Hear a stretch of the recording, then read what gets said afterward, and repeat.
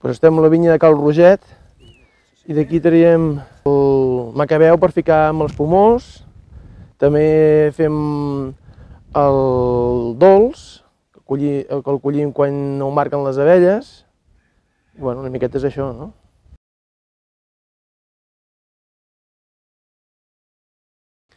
No llauro, ara ja és per convenciment, no? Vull dir, primer era perquè no fer pols i per no, eh, no tocar el terra, no? però ara entenc claríssim que hi ha la, una sèrie de fauna que cada vegada que llaures ho espatlles. No? Llavors aquí viu molt, diguem, molts éssers que no, que no els hi convé que tu els toquis, no? ja està diguem, equilibrat la cosa. Aranyes, bueno, aranyes n'hi ha de totes, de totes, el que passa que jo he agafat la tigre com a, com a aranya emblemàtica de, de porcelànic perquè és la més vistosa, però n'hi ha de tot tipus, no? Però aquí l'aranya tigre pot, pot arribar a medir fins a 7 centímetres, o sigui, s'han anat fent molt grans.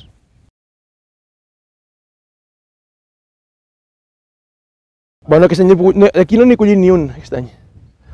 Aquest 2018 no n'he collit ni un, perquè, eh, no, perquè hem tingut, eh, bueno, vam collir, no sé, 500 o 600 quilos, uh, perquè ens va entrar el mildiu molt fort i el primer tractament el vaig fer 1 de juny, perquè no, no vaig saber veure que el mildiu va entrar a la, a la floridura, va entrar per sota, les fulles ben maques, totes bé bé, i quan vaig veure la primera taca, doncs eh, ja m'havia entrat per sota i ja no, no vaig tenir... O sigui, l'1 de juny no havia fet cap tractament i el 30 de juny n'havia fet, ja n'havia fet 5, però ja vaig veure que era impossible parar-ho i a partir del tercer tractament ja vaig començar a treballar amb aigua de mar perquè almenys no em quedessin espores. Jo vaig fer-li un, bueno, dos, dos tractaments bastant forts amb aigua de mar. I ara ja veieu que està preciosa la vinya. Dic tractament amb aigua de mar és com el mateix que tu quan tu veus aigua.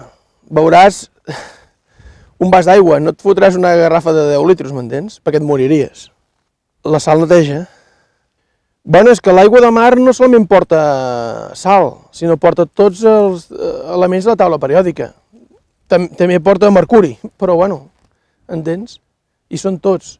El tema no és eh, quants n'hi ha, sinó la quantitat que hi poses. 20. Nosaltres fem un dolç, eh, llavors que és de sobremadurat, Després fem un macabeu, fem un vi de merlot, fem tres xarelos, després fem un espornejant, que és eh, un espumós, amb el meu mètode, que és fer primer el, el vi, doncs, vi base, i després eh, l'any següent afegir-hi eh, el macabeu eh, doncs, en forma de...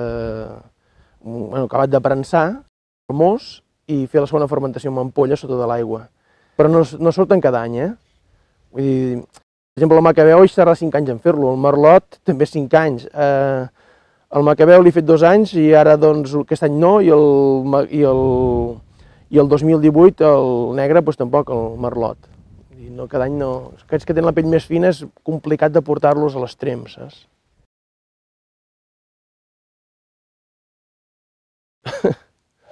Pues no sé, Algú que un bon dia es va, per desgràcia, intoxicar amb una vinya i que ha anat fent una evolució i que mira d'estar integrat en el, en el paisatge, per dir-ho d'alguna manera, i que, bueno, intento eh, entendre que estic de passada, no? Això ara ho porto jo i sóc l'administrador i, i em passarà el turno i haig de mirar de deixar-ho millor per, pel que vingui al darrere meu. Ho tinc molt clar, això. Bueno, jo diria que són autèntics, vull dir que si se'n va a Egipte a veure Tutankamon, pues és el vi que bevia aquell senyor en aquell moment, fa 4.500 anys, ni més ni menys. O sigui, agafar suc de raïm, prensal i ja està. Resar perquè no es piqui i ja està. No tenen res.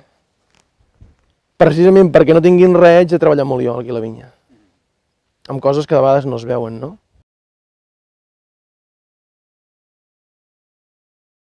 El farem, un celler aquàtic. És un tema d'inversió.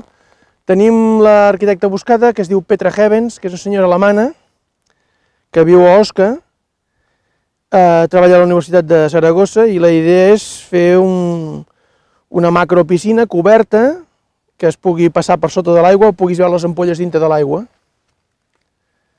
i tenir un, un espai gran perquè puguis arribar i, i aparcar i ens puguis venir a visitar.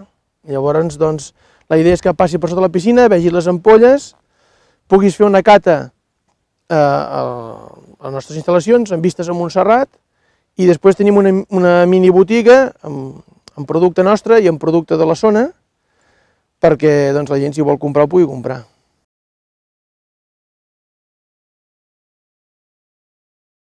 El futur del Penedès? bueno, jo diria que avui hi ha més consciència cada dia i penso que si algú com jo pues, eh, està en els millors restaurants del món, és algú d'efecte fa, no? Perquè quan vaig començar em deien que ficar-li la paraula penedès al meu vi que era, que era absurd, no? Penso que cada vegada hi ha més petitons que, van, que s'ho van carient tot això i van transformant el Penedès. Evidentment, la gent viu dels grans, i no hi ha res a dir perquè és un sistema i, i, i tothom tarda el que tarda en arribar a conclusions i la gent doncs, vol, vol guanyar-se la vida i llavors ha de treure quilos de, de la vinya perquè li paguen poquet, però la que arriba és la conclusió de que quan tu tires un verí amb una vinya, doncs, el que primer que se'n és tu mateix i després la teva família i, i quan, quan remenes el terra i se'n va l'aire doncs, també perjudiques els demés, quan arribes a aquesta conclusió i, bueno, llavors ja, diguem que ja vas enrere i comences a fer neteja, no? Aquesta seria la idea.